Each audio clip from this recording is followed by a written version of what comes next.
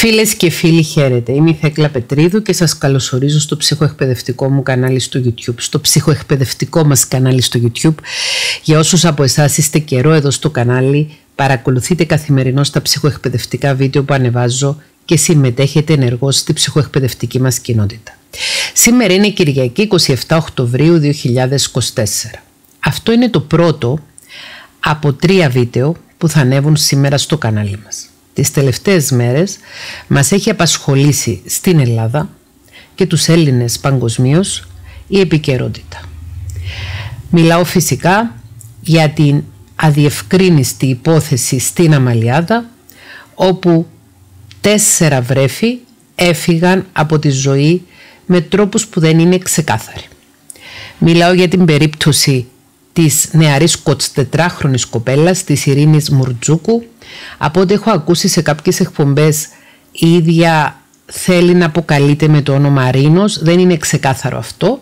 Ε, εφόσον βγαίνει στις εκπομπές και χρησιμοποιεί το όνομα Ειρήνη θα την αποκαλώ με το όνομα Ειρήνη. Θέλω εδώ να σας πω, βλέπετε, μοιράζομαι την οθόνη μου. Βλέπετε εδώ μια απεικόνηση οθόνης από το χθεσινό βίντεο. Είχα κάνει λάθος βίντεο σκοπώντας χθες τον εαυτό μου να μιλάει μαζί με τη συνέντευξη. Το λογισμικό που χρησιμοποιώ δεν το χρησιμοποίησα ορθά και έτσι κάλυψα χωρίς να το θέλω, χωρίς να το επιθυμώ, κατά λάθος το πρόσωπο της Ειρήνης. Δεν είχα σκοπό να καλύψω το πρόσωπό της ίσα ίσα που ήθελα να φαίνεται το πρόσωπό της ελπίζω στο σημερινό βίντεο να τα έχω καταφέρει και να μην καλύπτει δική μου φάτσα το πρόσωπο, τη φάτσα οποιοδήποτε ε, θέλουμε να δούμε στην οθόνη και να σχολιάσουμε με ψυχοεκπαιδευτικό πάντοτε σκοπό.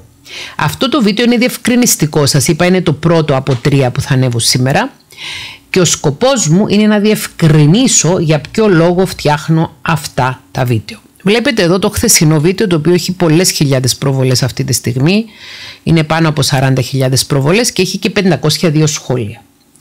Είναι πολλά σχόλια αυτά για το κανάλι μας με την έννοια το ότι το κανάλι μας καθημερινώς έχει βίντεο το οποίο μπορεί να φτάσουν τις 7, τις 10, τις 15 χιλιάδες θέασεις και τα σχόλια να είναι λιγότερα. Είναι ξεκάθαρο ότι επειδή ασχολήθηκα με ένα θέμα που απασχολεί το ευρύτερο κοινό αυτές τις μέρες ήρθε και κόσμος στο κανάλι ο οποίος δεν γνωρίζει τι ακριβώς κάνω. Φτιάχνω λοιπόν αυτό το βίντεο για να εξηγήσω τι ακριβώς κάνω και να δώσω και μια απάντηση σε ένα σχόλιο το οποίο θα το δούμε στη συνέχεια στην οθόνη μας το οποίο είναι ένα σχόλιο που δείχνει ακριβώς ότι οι άνθρωποι που δεν αντιλαμβάνονται το σκοπό ύπαρξης αυτού του καναλιού δεν αντιλαμβάνονται τη δική μου προσπάθεια μέσα από τα ψυχοεκπαιδευτικά βίντεο μπορεί να αποδίδουν όσα τους υπαγορεύει ο δικός τους τρόπος σκέψης όσα τους υπαγορεύει η δική τους ιδεολογία ίσως να αποδίδουν σε μένα τέτοια σκεπτικά ενώ δεν τα έχω. Λοιπόν, στην περιγραφή αυτού του βίντεο θα βάλω και τους συνδέσμους των δύο προηγούμενων βίντεο. Του βίντεο που ανέβηκε του πρώτου πριν δύο μέρες που έχει τίτλο «Υπόθεση στενά μαλλιάδα μπορούσε να προληφθεί» και του βίντεο που ανέβηκε χθες με τίτλο «Παρακολουθούμε μαζί τη live συνέντευξη που έδωσε η Ειρήνη στις 24 Οκτωβρίου στο Μέτρο Κουσουλό».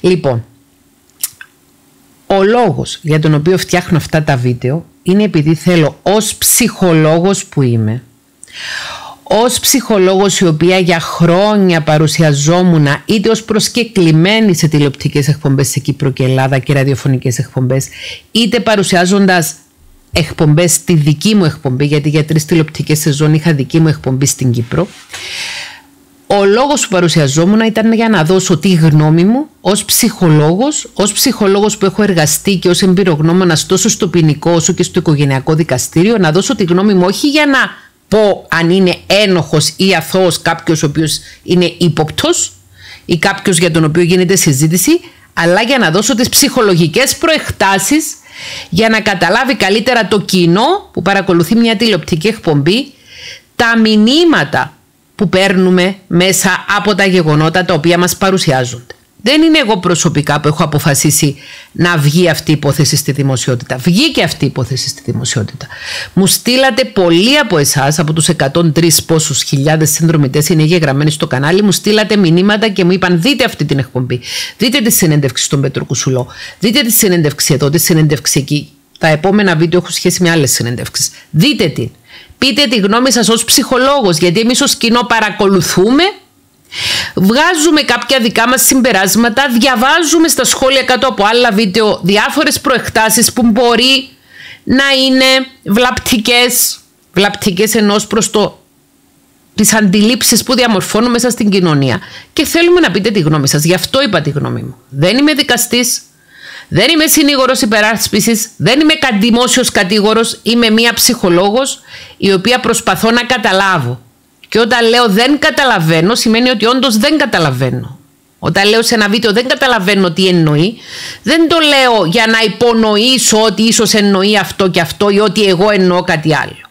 Όσοι με γνωρίζουν γιατί είμαι από το 2013 συστηματικά στο YouTube και από το 1998 στη δημόσια τηλεόραση. Όσοι με γνωρίζουν γνωρίζουν ότι αν έχω μια σκέψη θα την πω, αν κάνω μια υπόθεση θα την μοιραστώ και δεν μασάω τα λόγια Λοιπόν, 40.000 προβολές στο χθεσινό βίντεο, 502 σχόλια. Τα περισσότερα σχόλια είναι σχόλια ανθρώπων οι οποίοι γράφουν ότι τους βοήθησε το βίντεο να κατανοήσουν καλύτερα κάποια πράγματα που τους είχαν μπερδέψει και ούτω καθεξής. Υπάρχουν κάποια σχόλια τα οποία είναι μισελάνιος με την έννοια ότι οι άνθρωποι που δεν έχουν καμία σχέση με την ψυχοεκπαίδευση μπήκαν στο κανάλι λόγω του ότι το βίντεο αυτό έχει να κάνει με τη δημοσιότητα και άφησαν κάποιο σχόλιο όπως αυτά που θα άφηνα σε οποιαδήποτε άλλη στο σελίδα ή σε οποιοδήποτε άλλο κανάλι. Υπάρχει όμως εδώ ένα σχόλιο το οποίο με ενόχλησε. Δεν με ενόχλησε με την έννοια να τα βάψω μαύρα και να κλαίω και να οδύρωμαι γιατί κάποιος με έχει τσακώσει. Μου έδειξε όμως πώς μπορεί η προσπάθεια ενός ψυχολόγου ο οποίος αποφασίζει συνειδητά να μην έχει γραφείο και να μην έχει τα οικονομικά ωφέλη που έχει ένας ψυχολόγος που έχει γραφείο. Ενός ψυχολόγου ο οποίος αποφασίζει συνειδητά να διακόψει τη δικιά του τηλεοπτική εκπομπή και να μεταφερθεί στο YouTube. Ενός ψυχολόγου ο οποίος καλείται από εκπομπές που είναι πρώτες σε τηλεθέαση να βγει στο γυαλί και δεν βγαίνει επειδή ακριβώς προτιμά την ελευθερία που δίνει το YouTube ώστε όταν κάνει το δικό του βίντεο αυτός ο ψυχολόγος, όταν μιλάει να δίνει ακριβώς την ψυχολογική οπτική και να μην εμπλέκεται σε οποιασδήποτε άλλες προθέσεις μπορεί να έχει οποιοδήποτε παρουσιάζει ένα θέμα, να μου αποδίδει προθέσεις που δεν έχω. Λοιπόν, δεν γνωρίζω ποια είναι αυτή η κυρία, πρώτη φορά έχει μπει στο κανάλι μας. Πρώτη φορά βλέπω σχόλιο του στο κανάλι γιατί ως δημιουργός καναλιού μπορώ να πατήσω πάνω στο προφίλ την ώρα που διαβάζω ένα σχόλιο και να δω αν έχει ξανασχολιάσει στο κανάλι μας. Δεν έχει σχολιάσει ξανά στο κανάλι μας, δεν γνωρίζω ποια είναι, ούτε και με αφορά ποια είναι, με αφορά μόνο ε, το σχόλιο της και όσα ε, κακόπιστα κατά τη γνώμη μου αποδίδει. Λέει η κοπέλα, θα προσπαθήσω να συμβάλλω όσο μπορώ στην επιστήμη, να συμβάλλω. Καταρχάς δεν έχει προσκαλέσει κανένας, κανέναν στα σχόλια να συμβάλλει στην επιστήμη. Αν θέλω ένας επιστήμονας να συμβάλλει στην επιστήμη, τον προσκαλώ στο κανάλι μας και κάνουμε μαζί εκπομπή. Κάνουμε μαζί βίντεο. Και πάρα πολύ συχνά στο κανάλι μας είναι προσκεκλημένοι διακεκριμένοι επιστήμονες, ψυχολόγοι, ψυχίατροι και ούτω καθεξής. Αυτό κλείτη η κοπέλα θέλει να συμβάλλει στην επιστήμη. Ώστε να κατανοήσετε αυτό που ονομάζεται στο 14 και 54 περίεργα πράγματα και δεν βγάζετε νόημα. Ήρθε λοιπόν αυτό κλητή κοπέλα να μου κάνει εμένα μια διδασκαλία, μια διδασκαλία να καταλάβω εγώ η άσχετη, ενώ αυτή είναι σχετική, δεν μας λέει όμως τι ιδιότητα έχει, τι είναι αυτά τα περίεργα α, πράγματα για τα οποία εγώ δεν βγάζω νόημα. Ονομάζεται πολυαμορικές οικογένειες ή πολυαμορικές σχέσεις. Μάλιστα. Δηλαδή σε οικογένειες όπου ζουν μαζί δύο αμφιφιλόφιλα ζευγάρια και ένας άνδρας ή με άλλα φύλλα και σεξουαλικούς προσανατολισμούς. Σε αυτές τις περιπτώσεις οι σύντροφοι συχνά μοιράζονται ρομαντικές και σεξουαλικές σχέσεις με τις δυναμικές να ποικίλουν, να ποικίλουν σε ένταση και δεσμεύ. Ευρώπη δεν θέλαμε, έτσι δεν είναι. Ευρώπη θέλαμε, έτσι δεν είναι. Καταρχάς δεν γνωρίζω σε καμία περίπτωση ποιο ήταν το living arrangement στα διάφορα σπίτια που ζούσε η Ειρήνη. Δεν γνωρίζω αν ήταν σε πολυαμορικές σχέσεις, γιατί αυτό που ονομάζεται εδώ πέρα πολυαμορικές οικογένειες και πολυαμορικές σχέσεις είναι μια συνθήκη η οποία ναι συμβαίνει στο εξωτερικό που το έχω μελετήσει, δεν ξέρω αν συμβαίνει και στην Ελλάδα, όπου όμως είναι συμφωνημένα κάποια πράγματα. Δεν ξέρω αν σε αυτή την περίπτωση οι άνθρωποι που συγκατοικούσαν σε κάθε σπιτικό ήταν συμφωνημένοι για τις μεταξύ τους σχέσεις. Δεν το γνωρίζω και ούτε έχει και σημασία. Και ούτε και με αφορά. Εμένα αυτό που με αφορά είναι το εξής. Να μην σκοτώνονται αθώα μωρά, αν όντως τα μωρά έχουν σκοτωθεί και όσοι ψυχοεκπαιδευόμαστε και θέλουμε ουσιαστικά να ψυχοεκπαιδευτούμε, να μπορούμε να καταλαβαίνουμε πώς ο τρόπος με τον οποίο μιλάει ένας άνθρωπος, ο τρόπος με τον οποίο αντιδράει μπορεί να είναι ενδεικτικός κάποιων προθέσεων για να το εφαρμόσουμε εμείς στην προσωπική μας ζωή.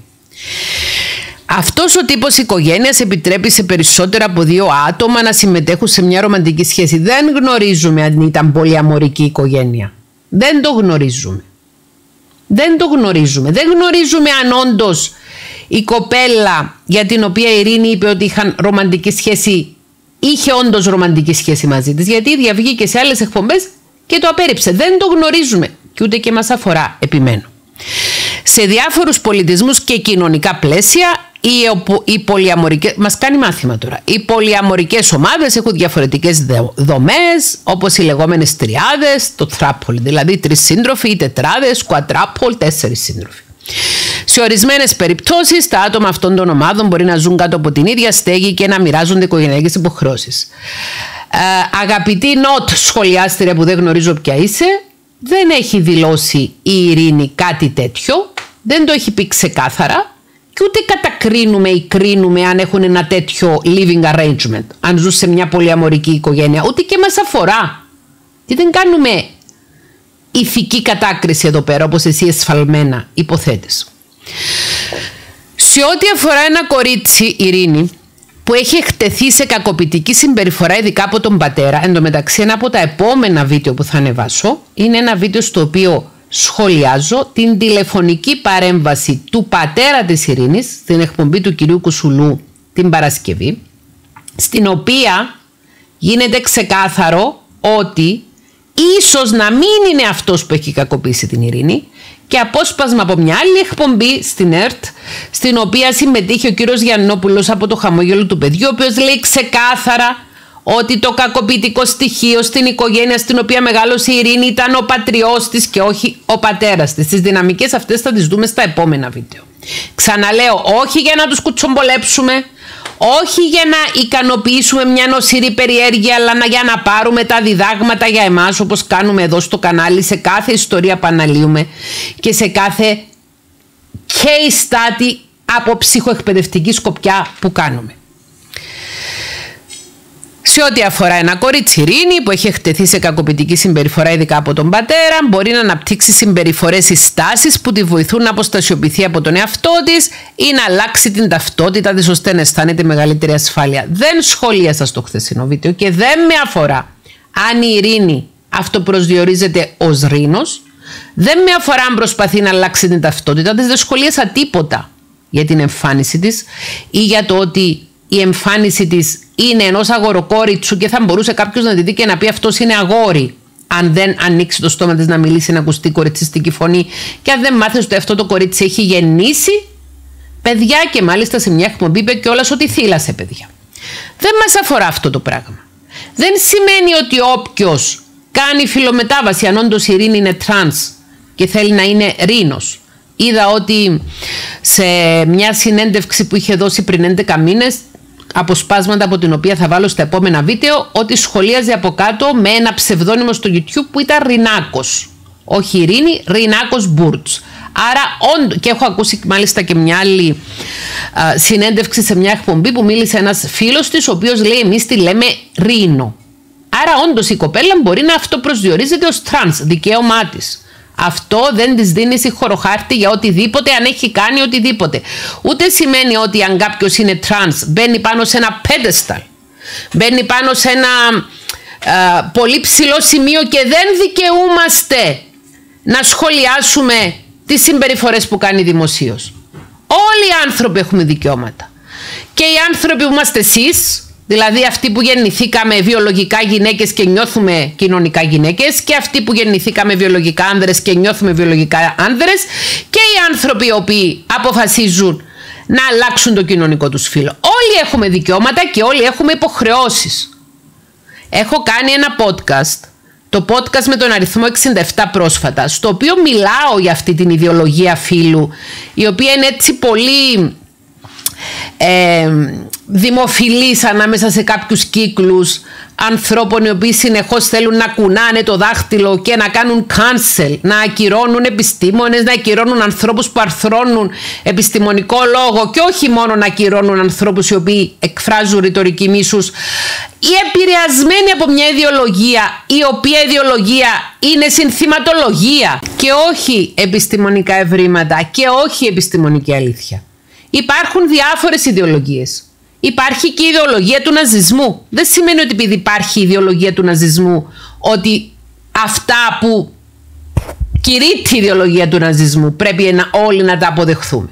Λοιπόν, πάμε πίσω. Θα σας βάλω στο, στην περιγραφή αυτού του βίντεο και το σύνδεσμο για να δείτε όσοι θέλετε το 67ο επεισόδιο του podcast όπου μιλάω για αυτά τα ζητήματα και εκφράζω την ανησυχία μου για τη διάσπαρτη επίδραση που έχει στην κοινωνία η ιδεολογία φύλου η οποία επηρεάζει και πρόσωπα τα οποία δεν έχουν ούτε την ακαδημαϊκή μόρφωση ούτε την ψυχοσυναισθηματική ορίμανση να κατανοήσουν και να διαχωρίσουν τι είναι ιδεολογία και τι είναι επιστήμη, τι είναι υποκειμενικό και τι είναι αντικειμενικό.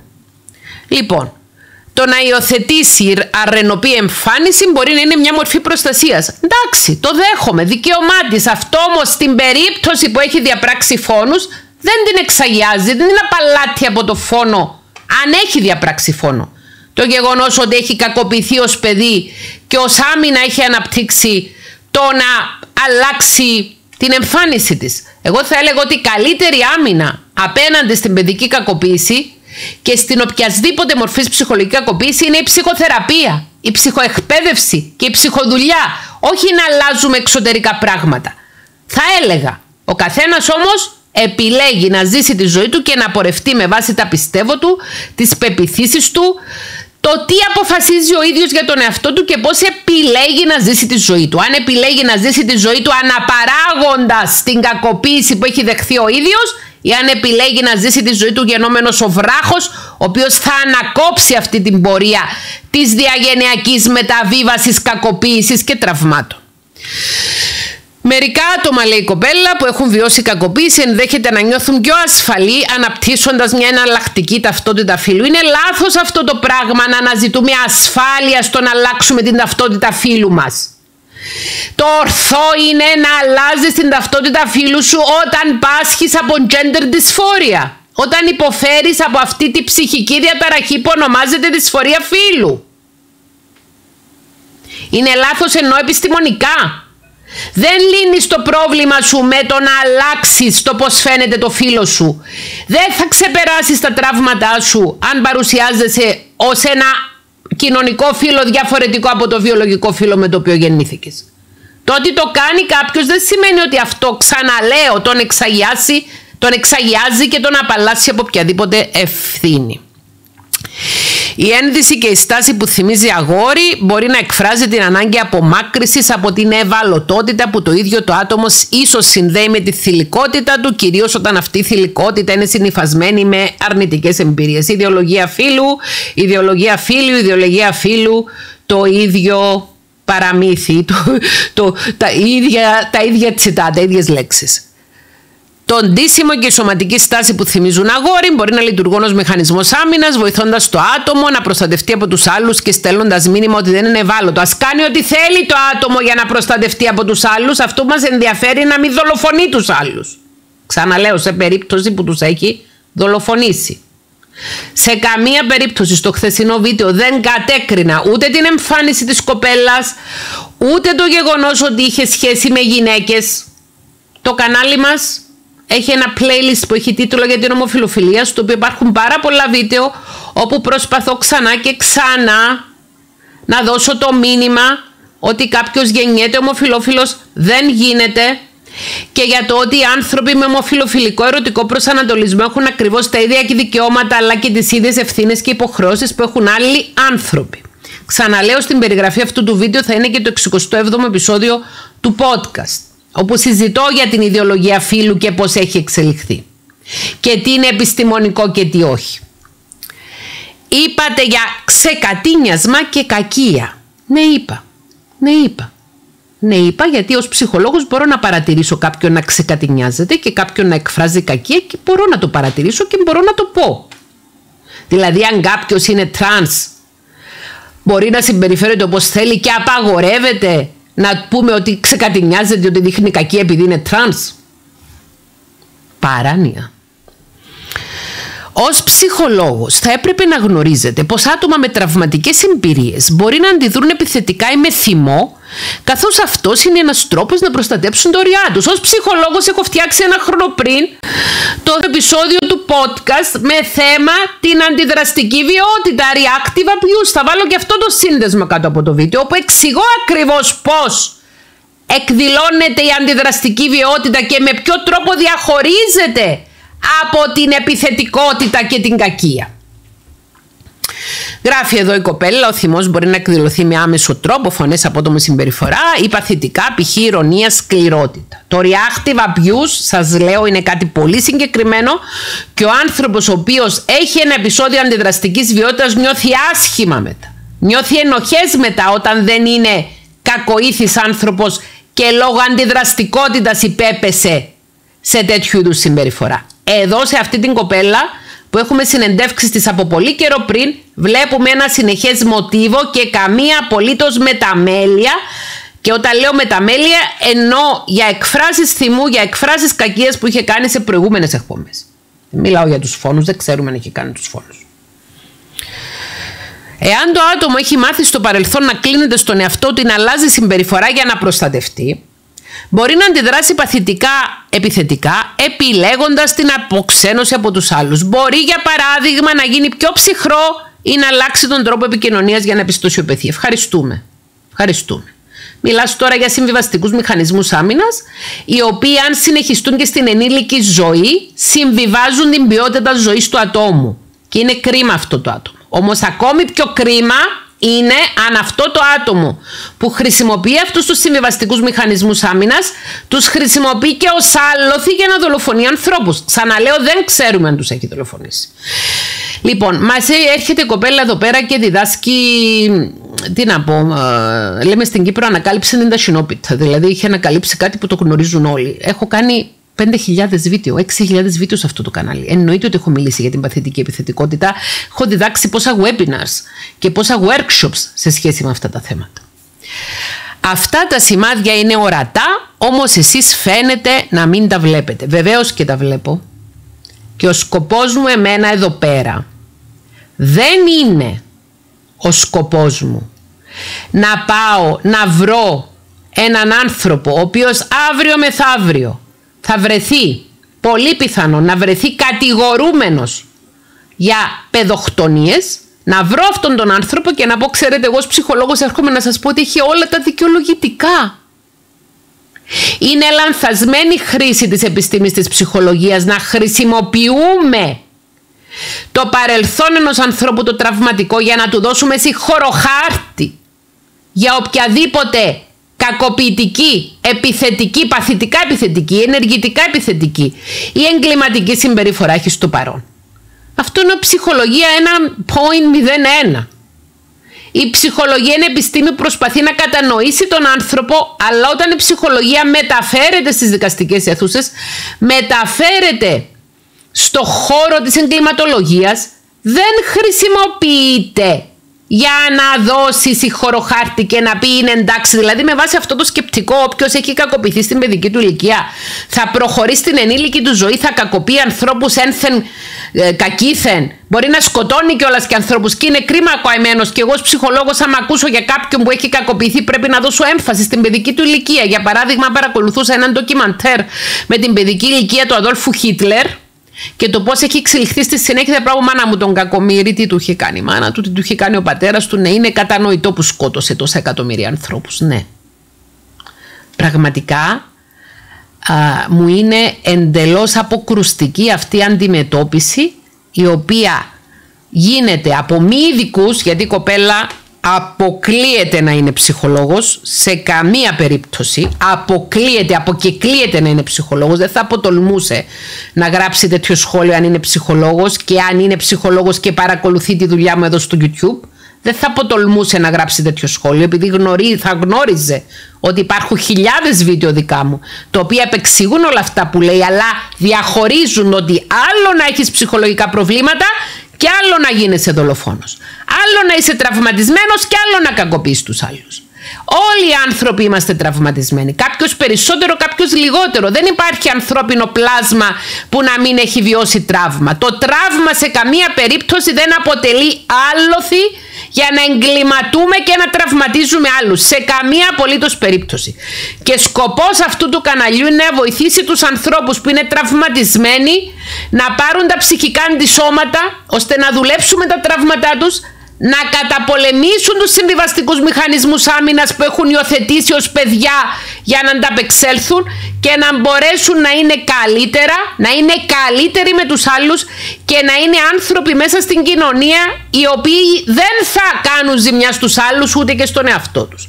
Γιατί και αυτοκαταστροφικότητα είναι συνέπεια συμβιβαστικών μηχανισμών άμυνας. Λοιπόν, άρα μου λέει η κοπέλα ότι αυτά τα σημάδια είναι ορατά και εγώ με τυφλή και δεν τα βλέπω. Εσείς θέλετε να πάτε στο κομμάτι γιατί τα παιδιά κάνουν παιδιά. Σε ευχαριστώ πάρα πολύ που έχεις καταλάβει ακριβώς τι έχω πει στο μυαλό μου. Τι έχω μέσα στο μυαλό μου. Έχεις μπει μέσα στο μυαλό μου, δεν ξέρω, έχεις κάποιο λογισμικό που μπορεί να μπει στο μυαλό του άλλου και να διαβάσει τις σκέψεις του. Υποθέτει από μόνη της ότι εγώ κατακρίνω την ειρήνη επειδή ε, είναι όπως την ονομάζει η ίδια πολύ αμορική εγώ όμως θέλω να εστιάσουμε στο γιατί η επιστήμη σας παραδέχεται πως δεν είναι επιστήμονας. Πώς θα συμβάλλεις στην επιστήμη αν δεν είσαι επιστήμονας εσύ αυτής της επιστήμης και γιατί η επιστήμη σας; Πρώτα δεν προσπάθησε να μελετήσει και να θεραπεύσει έναν παιδόφιλο, ζώφιλο, κακοποιητικό ή βίο γονέα πριν φτάσει να ορίσει τον όρο ψυχολογική διαταραχή και να περιορίσει τα εργαλεία της δικαιοσύνης. Είναι μια σαλάτα λέξεων όλα αυτά που καταγράφει. Και σαλάτα σκέψεων προφανώς. Γιατί τα τελευταία 20 χρόνια κάθε ανομαλία επιστήμη σας την ονομάζει αρρώστια ή διαταραχή; Τι λες κόρη μου; Τι λες κόρη μου. Καταλαβαίνεις τι γράφεις; Βγάζετε εσείς νόημα από όλο αυτό τον αχταρμά. Όσον αφορά τον ανθρώπινο εγκέφαλο, μέχρι ποια ηλικία αναπτύσσεται, ας μάθουμε πρώτα τι είναι το 80% του εγκεφάλου μας, γιατί σήμερα γνωρίζουμε μόνο το 20% της λειτουργίας του. Αυτό είναι ένα ξεκάθαρο επιστημονικό σφάλμα. Είναι ένας αστικός μύθος ότι γνωρίζουμε μόνο το 10% της λειτουργίας του εγκεφάλου μας ή το 20%. Δεν ισχύει αυτό. Και η σύγχρονη νευροεπιστήμη το αποδεικνύει. Πώς αποφάσισε η ψυχολογία ποια ηλικία σηματοδοτεί την ορίμανση του εγκεφάλου; Όταν δεν κατανοούμε πλήρως τη λειτουργία ενός τόσο μεγάλου ποσοστού του. Εσύ νομίζεις ότι δεν την κατανοούμε. Εσύ το νομίζεις αυτό. Υπάρχουν ένα σωρό σύγχρονες νευροαποκανιστικέ μέθοδοι οι οποίες δείχνουν μέχρι σε ποια ηλικία αναπτύσσεται δομικά ο ανθρώπινος εγκέφαλος. Αλλά θες να συμβάλλεις ή να συμβάλλεις και στην επιστήμη, τρομάρα σου. Η έντονη αίσθηση δικαιοσύνης, η ευαισθησία στις αδικίες σε θέματα ηθικής δείχνουν ότι η κοπέλα αυτή νιώθει την ανάγκη να προστατεύσει τον εαυτό της εκείνη τη στιγμή, όχι γενικά, και αυτά αποτυπώνει ξεκάθαρα στη συμπεριφορά της. Η ανάλυση σας άφησε πολλά υπονοούμενα. Στρέφεται, το στρέφεται όταν είναι στο δεύτερο πληθυντικό είναι με ε, είναι με αρφαγιώτα. Το κοινό σε αυτά που πιστεύετε, όταν είναι δεύτερο πληθυντικό είναι με ε, εσείς η ίδια. Εγώ προσωπικά τι πιστεύω, τα ξέρει. Ξέρει τι πιστεύω. Το έχει πάρει, απόφαση, το έχει πάρει απόφαση για το τι πιστεύω. Καταρχάς, είναι ξεκάθαρο το τι πιστεύω γιατί το λέω, δεν το κρύβω. Δεν χρειάζεται κάποιος να υποθέσει για μένα ότι πιστεύω το ένα, πιστεύω το άλλο, όταν λέω ξεκάθαρα πράγματα. Και θα το πω και τώρα. Θεωρώ ότι η ενόλο συμπεριφορά της συγκεκριμένης κοπέλας σε πολλές συνεντεύξεις της που έχω παρακολουθήσει ακόμη και αν δεν είχα ακούσει μαρτυρίες διαφόρων άλλων ανθρώπων από το περιβάλλον της η ενόλο συμπεριφορά της καθώς και η συμπεριφορά της κυρίας που παρουσιάζεται μαζί της στις εκπομπές μου εγείρουν πολλά ερωτηματικά για το κατά πόσο η κοπέλα αυτή έχει άμεση εμπλοκή με το θάνατο των βρεφών. είναι πασιφανές. Όλη η Ελλάδα το έχει καταλάβει, εκτός από αυτή την κοπέλα η οποία έρθε εδώ πέρα να πει ότι εγώ έκανα βίντεο για να κατηγορήσω την ειρήνη ή να καταδικάσω την ειρήνη. Έχω ερωτηματικά. Δεν με πείθουν οι απαντήσεις της για το αν είναι αληθινά αυτά που λέει. Υπενθυμίζω ότι ως εμπειρογνώμονα στο ποινικό δικαστήριο κλήθηκα πολλές φορές να αναλύσω συνεντεύξεις βιτεοσκοπημένες συνεντεύξεις ανθρώπων οι οποίοι κατάγγελαν κάποιους άλλους ότι τους έκαναν κάτι. Και μάλιστα σε μία δίκη που μου έχει μείνει έτσι πολύ έντονα στο μυαλό είχα φτιάξει μία έκθεση στην οποία ανέλυα τα όσα έλεγε ένα πρόσωπο το οποίο κατηγορούσε ένα άλλο πρόσωπο πως το έχει κακοποιήσει. Και στην έκθεση εκείνη είχα γράψει με επιστημονικούς όρους ότι ο τρόπος με τον οποίο περιγράφει τα γεγονότα αυτό το πρόσωπο μου δημιουργεί αμφιβολίες ως το κατά πόσον λέει την αλήθεια. Αυτό φυσικά έχει να κάνει με τις αναμνήσεις, τις αισθητηριακές αναμνήσεις, τον τρόπο ανάσυρσης της ανάμνησης και ούτω καθεξής. Δεν είσαι ψυχολόγος για να σου τα πω και να τα κατανοήσεις. Λοιπόν, και αυτή η περίπτωση όταν α, εκδικάστηκε στο εφετείο, α, ο ποινικολόγος ο οποίος είχε αναλάβει την έφεση μου είπε ότι α, λόγω της έκθεσης αποκαλύφθηκε η πραγματικότητα ότι εκείνο το πρόσωπο επίτηδες είχε καταγγείλει ένα άλλο πρόσωπο το κακοποίησε χωρίς να το έχει κακοποιήσει και αθώθηκε ο άνθρωπος ο οποίος μπήκε στη φυλακή άδικος μετά από ψευδή καταμήνυση. Δεν με γνωρίζεις, δεν γνωρίζεις την ιστορία μου, δεν γνωρίζεις τι μάχες έχω δώσει και συνεχίζω να δίνω για τα ανθρώπινα δικαιώματα και δεν δέχομαι σε καμία περίπτωση να μου αποδίδονται κίνητρα και προθέσεις που δεν ισχύουν αλλά βρίσκονται μέσα στο μυαλό του καθενός. Τη απάντησα εγώ της κοπέλας αυτής με ποια ιδιότητα συμβάλλεται με αυτό το τόσο τοξικό και χειριστικό σχόλιο, για πέστε μου, είναι πολύ τοξικό και χειριστικό το σχόλιο. Βεβαίως είναι τοξικό και χειριστικό και έχω εξηγήσει τώρα γιατί.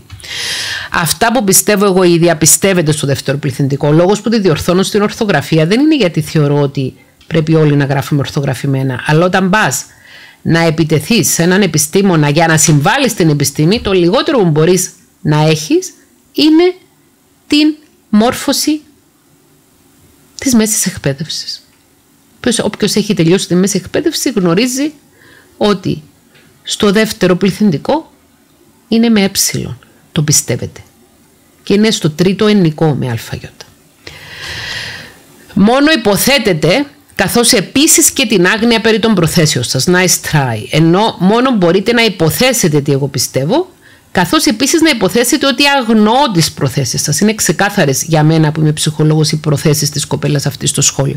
Να ειστράει ενώ καλή προσπάθεια. Δηλαδή, α σε διαβάσει κάποιος που δεν είναι ψυχολόγος, ας σε διαβάσει κάποιος ο οποίος δεν μπορεί να αναλύσει την παθητικό-επιθετική συμπεριφορά και τα σχόλια τύπου nagging, θα βάλω και το playlist για το nagging στην περιγραφή αυτού του βίντεο, δεν μπορεί να καταλάβει ότι αυτό το σχόλιο είναι αυτό που σας εξήγησα πώς είναι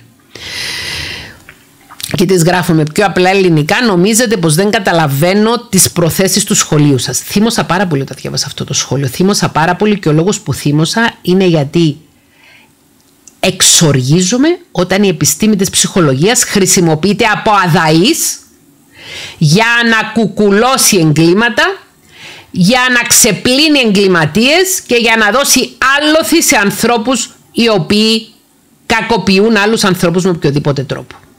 Γίνομαι έξαλλη και δικαιούμαι να γίνομαι έξαλλη. Γιατί με ενδιαφέρουν όντως τα ανθρώπινα δικαιώματα. Συνολικά όλων των ανθρώπων, όχι επιλεκτικά. Με πιο απλά ελληνικά, νομίζετε πως δεν καταλαβαίνω τις προθέσεις του σχολείου σας. Πλανάστε πλάνη νυχτρά. Μου αποδίδετε συλλογισμούς τους οποίους όχι μόνο δεν εξέφρασα, ούτε καν σκέφτηκα. Αποκαλυπτικό. Και ενώ αποκαλυπτικό για το δικό της σκεπτικό και για τα δικά της κίνητρα. Κάνει μια ξεκάθαρη προβολή σε αυτό το σχόλιο προβάλλει σε μένα σκέψεις που δεν είχα κάνει. Ή προβάλλει τα δικά της πάνω στην ειρήνη, δεν ξέρω ο Θεός και η ψυχή της. Και της λέω a very distinguished word salad. Όλο το θύμωσα, γι' αυτό έστειλα τρία απάνω τα σχόλια. Μια πολύ διακεκριμένη word salad. Η λέξη word salad, σαλάτα λέξεων, χρησιμοποιείται για να περιγράψει ένα πρόσωπο το οποίο όταν επιτίθεται σε κάποιον άλλον αντί να πει ένα, δύο, τρία ξεκάθαρα, επειδή ακριβώς λέει ψέματα, λέει πάρα πολλά. Κάνει μια σαλάτα λέξεων για να κάνει εντύπωση ότι λέει και κάτι, ενώ στην ουσία δεν λέει κάτι. Και μου απαντάει πριν από μία ώρα, όταν κάποιος δεν συμφωνεί με τα λεγόμενά σας και σας κάνει κριτική, μην βαφτίζετε την κριτική του τοξική και χειριστική. Ως ειδικό θα έπρεπε να έχετε μάθει να δέχεστε την κριτική και να απαντάτε στις ερωτήσεις που σας κάνουν. Σου απάντησα μια χαρά στις ερωτήσεις που μου έχεις κάνει. Μια χαρά σου απάντησα. Λοιπόν, και το επόμενο θεωρείτε την κριτική μου ως σοβαρό λάθος που μπορεί να οδηγήσει σε σημαντικές συνέπειες ή να δείχνει μια τελείως εσφαλμένη αντίληψη της πραγματικότητας. Ωστόσο η ανάλυση σας κάνει ακριβώς το ίδιο. Και της απαντώ, πες μας λίγο την επιστημονική σου ιδιότητα με την οποία έγραψες πως θέλεις να συμβάλλεις στην επιστήμη. Αυτό πες μας πρώτα. Πάμε να δούμε τώρα την επιστημονική ιδιότητα αυτής της κοπέλας γιατί έχει απαντήσει. Μου ήρθε τώρα... Μου ήρθε τώρα ενημέρωση ότι απάντησε και γράφει. Η κριτική μου δεν βασίζεται σε δική μου επιστημονική κατάρτιση. Αλλά στις παρατηρήσεις και την ανθρώπινη κριτική σκέψη στοιχεία που είναι θεμητά σε κάθε διάλογο επιστημονικό. Όχι, όχι κοπέλα. Μου όχι κοπέλα. Μου ο Λέιμαν, ο κάθε άνθρωπος που δεν είναι ψυχολόγος δεν μπορεί να κάνει κριτική σε ένα ψυχολόγο χωρίς να έχει τις γνώσεις που έχει ο ψυχολόγος. Όπως ούτε εγώ μπορώ να πάω να κάνω κριτική σε ένα γαστρεντερολόγο χωρίς να έχω γνώσεις γαστρεντερολογίας. Όπως δεν μπορώ να πάω να κάνω κριτική στον ηλεκτρολόγο που φτιάχνει τα ηλεκτρολογικά στο συστήματα στο σπίτι μου, γιατί δεν γνωρίζω από ηλεκτρολογία. Έτσι και εσύ δεν δικαιούσε, χωρίς να είσαι ψυχολόγος, να κάνεις κριτική στο ψυχολόγο. Αυτός ο δικαιωματισμός στην εποχή του διαδικτύου μας έχει φάει. Το φαινόμενο Ντάνερ Κρούκερ, ξερολισμός. Η κριτική μου δεν βασίζεται στη δική μου επιστημονική κατάρτιση, αλλά στις παρατηρήσεις και την ανθρώπινη κριτική σκέψη.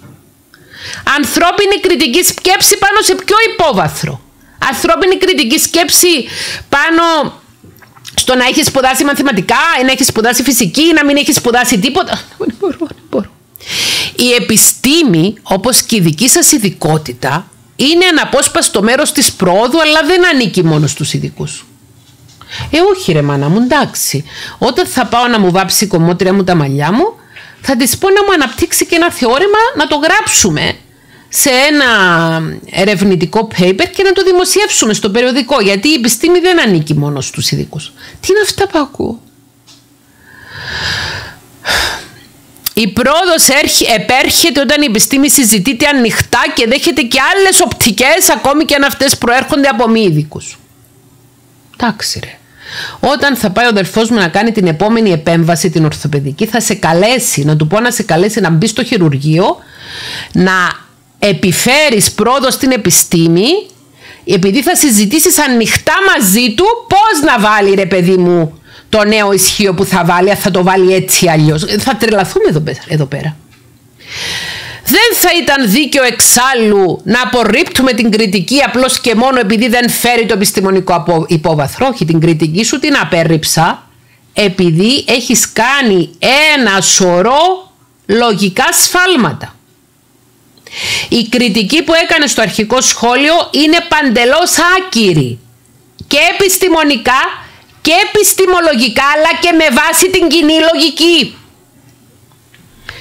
Στην τελική η επιστημονική ιδιότητα δεν εξασφαλίζει την απόλυτη αλήθεια ούτε αποτελεί εγγύηση δικαιοσύνης ή αμεροληψίας. Ενώ το να μην έχεις επιστημονική ιδιότητα και να έχεις ξεκάθαρα κακή πρόθεση εξασφαλίζει την απόλυτη αλήθεια και αποτελεί εγγύηση, εγγύηση δικαιοσύνης ή αμεροληψίας. Τέλος πάντων. Αχ, αχ, αχ, αχ. Με ρωτάτε πολλές φορές γιατί δεν κάνω συχνότερα βίντεο που έχουν σχέση με την επικαιρότητα. Ο λόγος που δεν κάνω συχνότερα βίντεο που έχουν σχέση με την επικαιρότητα είναι ακριβώς αυτός. Επειδή όταν κάνω βίντεο που έχουν σχέση με την επικαιρότητα έρχονται στο κανάλι μας διάφοροι άνθρωποι οι οποίοι δεν έχουν καμία σχέση με την επιστήμη της ψυχολογίας, δεν έχουν καμία σχέση με την ψυχοεκπαίδευση, δεν γνωρίζουν καθόλου τι σημαίνει ψυχοεκπαίδευση, τι σημαίνει εκλαϊκεύση της επιστήμης, τι σημαίνει ψυχολογική σκέψη και ψυχολογική οπτική. Δεν έχουν καμία απολύτως γνώση του αντικειμένου. Είναι φυσικά τα μυαλά τους γεμάτα από διάφορα ιδεολογήματα τα οποία έχουν καταπιεί αμάσιτα χωρίς καμία κριτική σκέψη και έρχονται και μου κάνουν επίθεση και ρίχνουν τον οχετό τους πάνω μου. Λοιπόν, όπως είπα και στην αρχή, αυτό το βίντεο είναι το πρώτο από τρία βίντεο που θα ανέβουν σήμερα και το φτιάχνω για να διευκρινίσω για ποιο λόγο κάνω τα βίντεο και ποιος είναι ο σκοπός μου κάνοντας αυτά τα βίντεο. Ζητάω συγγνώμη από τους τακτικούς θεατές του κανάλι μας, από τους ανθρώπους που βρίσκονται στη ψυχοεκπαιδευτική μας κοινότητα, γιατί στα σχόλια θα διαβάσουν και τοξικότητες, επειδή είναι ένα θέμα που προσελκύει πολλούς θεατές λόγω της επικαιρότητας και μπαίνουν μέσα και άνθρωποι οι οποίοι διακατέχονται από ξερολισμό, από τοξικότητα, παριστάνουν τους αυτόκλητους συμβουράτορες, είναι οι κριτές του διαδικτύου, οι ψυχολόγοι του Google, οι ψυχολόγοι της όποιας κοινωνικής πλατφόρμας που δεν είναι ψυχολόγοι αλλά κάνουν τους ψυχολόγους τους ψυχολόγους με περιττό θράσος αλαζονία και δικαιωματισμό. Δεν έχω κάτι με αυτή τη γυναίκα, δεν γνωρίζω ποια είναι. Σας έχω μοιραστεί την οθόνη μου γιατί είναι δημόσιο το σχόλιο. Δεν γνωρίζω ποια είναι, δεν γνωρίζω τι κάνει, δεν γνωρίζω τι έχει σπουδάσει, αν έχει σπουδάσει, τι γνώσεις έχει κλπ. Ε, με έχει όμως βάλει στόχο και με πυροβολή και θεώρησε ότι είναι μια καλή ιδέα να φτιάξω αυτό το βίντεο για να ξεκαθαρίσουμε κάποια πράγματα. Είμαι σίγουρη πως οι τακτικοί τηλεθεατές στο κανάλι μας θα κατανοήσουν πλήρως αυτά που ανέλησα σε αυτό το βίντεο και θα δουν πρακτικά το nagging, την παθητική επιθετικότητα, την τοξικότητα, το gaslighting και όλα τα άλλα όπλα ψυχολογικού πολέμου τα οποία συζητάμε στο κανάλι. Χθες κάναμε ένα εξαιρετικό webinar για όσους βρίσκονται στο τρίτο επίπεδο της συμμετοχής και πάνω. Όσοι δεν το παρακολουθήσατε υπάρχει στο playlist με τα βιντεοσκοπημένα webinar όπου μιλήσαμε για ένα εναντιωματικό στυλ προσωπικότητας, αυτό του ναρκισισμού. Και μέσα σε εκείνο το webinar αναλύσαμε πολλά από αυτά τα ζητήματα που θέτει η κοπέλα στο σχόλιο της και τονίσαμε ότι σε καμία περίπτωση δεν είμαστε υποχρεωμένοι αν έχουμε μεγαλώσει σε ένα τοξικό, τραυματικό, κακοποιητικό περιβάλλον να εξελιχθούμε σε ανθρώπους οι οποίοι θα κάνουν τα ίδια που μας έκαναν εμάς μεγαλώνοντας οι κακοποιητικοί γονείς μας στους υπόλοιπους ανθρώπους. Όλοι οι άνθρωποι έχουμε τραύματα. Το πώς τα διαχειριζόμαστε έχει να κάνει με τη δική μας προσωπικότητα, με τη δική μας ελεύθερη βούληση, με τη δική μας επιλογή. Ο κάθε άνθρωπος καλείται καθημερινώς να επιλέξει μεταξύ του δρόμου της αρετής και της κακίας. Είναι επιλογή του κάθε ανθρώπου αν θα ακολουθήσει τον εύκολο δρόμο της κακίας, όπου να ρίχνει τις ευθύνες για τη συμπεριφορά τους στους άλλους και στο παρελθόν και να προχωρεί κακοποιώντας ανθρώπους ή ακόμη και σκοτώνοντας ανθρώπους και να δικαιολογείται και ο ίδιος και να το δικαιολογούν και άλλοι αυτόκλητοι δικαιολογητές χρησιμοποιώντας λανθασμένα έννοιες της ψυχολογίας για να δικαιολογήσουν τα δικαιολογητά και για να ξεπλύνουν δολοφόνους και εγκληματίες. Δεν εννοώ ότι η Ειρήνη Μουρτζούκου είναι δολοφόνος και είναι εγκληματίας. Αυτό θα το αποδείξει η δικαιοσύνη. Δεν τη δικάζουμε. Κάνουμε τη δική μας συμβολή σε αυτό το κανάλι στη δημόσια συζήτηση που θέλουμε να κάνει τη διαφορά και γι' αυτό και το πρώτο βίντεο είχε να κάνει με την πρόληψη. Ναι, όταν τα παιδιά κάνουν παιδιά είναι πρόβλημα και στο λέει μία η οποία έκανε παιδί το πρώτο παιδί στα 22 και το δεύτερο παιδί στα 24 και ναι, δεν ήμουν η μητέρα που με τώρα λίγο πριν από τα 50 στα μικρά μου τα παιδιά. Ναι, είναι εξαιρετικά καλή ιδέα να οριμάσει ένας άνθρωπος προτού πάρει κι άλλους ανθρώπους στο λαιμό του. Το λέω κάνοντας την αυτοκριτική μου. Όσοι με γνωρίζετε από το κανάλι μπορείτε να κατανοήσετε.